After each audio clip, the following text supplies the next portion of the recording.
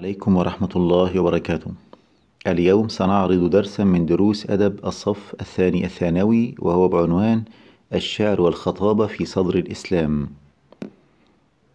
في البداية بما تميز الشعر في عصر صدر الإسلام؟ أول حاجة سهولة الألفاظ والبعد عن الألفاظ الموغلة في الغرابة. الأوزان والأخيلة ونظام القصيدة ظل كما كان في العصر الجاهلي. اختار الشعراء المعاني التي تتفق مع روح الإسلام. ما أسباب تعرض الشعر في عصر صدر الإسلام إلى التغيير والتحول؟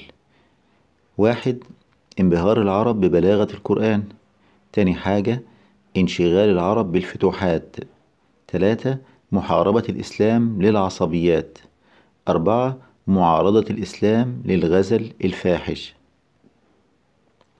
خمسة تحريم الإسلام للخمر. وبعد كده معارضة الإسلام للهجاء القبلي. سقوط منزلة الشعراء المتكسبين بالشعر. ظهور موضوعات جديدة مثل شعر الزهد وشعر الدعوة إلى الإسلام.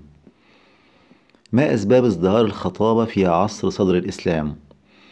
الإسلام كان ثورة على كل جوانب الحياة مما ساعد على ازدهار الخطابة.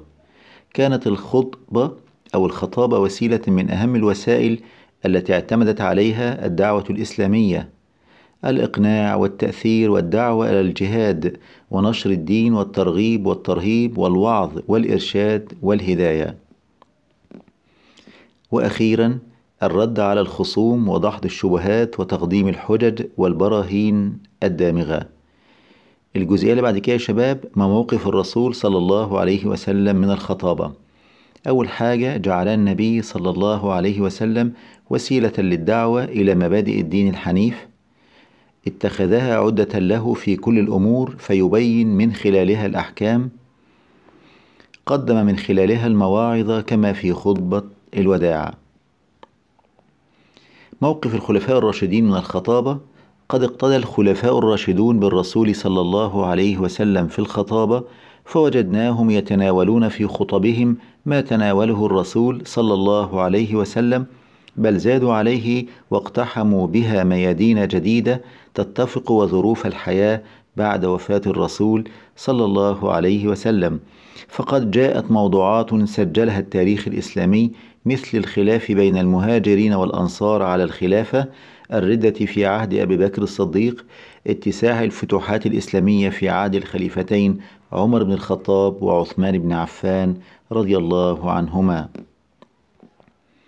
ما الخصائص ما خصائص الخطبة في صدر الإسلام؟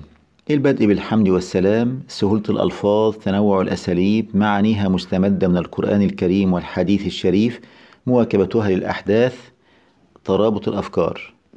معايا يا شباب؟ عايزين نعرف ما الوصية؟ إيه تعريف الوصية؟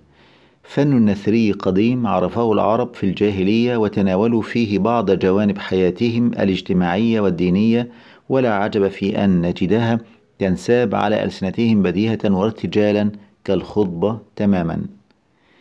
آخر حاجة في موضوعنا النهاردة إن شاء الله عايزين نعرف أنواع الوصايا وبأي شيء تأثرت. ظهرت منها في صدر الإسلام الوصايا الدينية والسياسية والاجتماعية وقد كثرت في كلام الرسول صلى الله عليه وسلم وصحابته والخلفاء وتأثرت بأسلوب القرآن الكريم كما تأثرت الخطبة من قبل. نكتفي بهذا القدر والسلام عليكم ورحمة الله وبركاته.